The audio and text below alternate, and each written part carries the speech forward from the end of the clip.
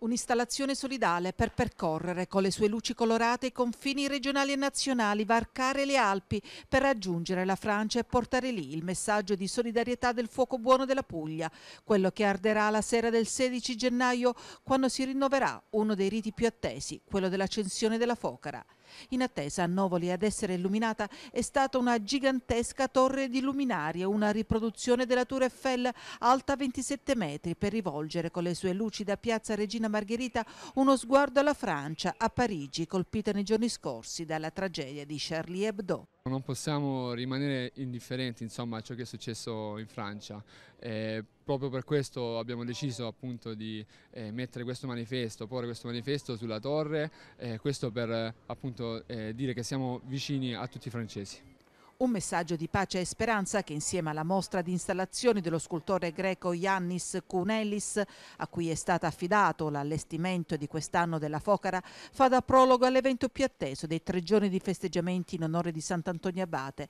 l'accensione del falò più grande del mondo, diventato ormai un importantissimo richiamo turistico. E lo stato d'animo è sempre il solito, c'è una forte tensione, una forte emozione. Aspettiamo questo momento, è un momento magico per il Salento, per la Puglia si accende questo grande faro, il faro dell'inverno salentino che illuminerà ancora una volta i percorsi del turismo destagionalizzato.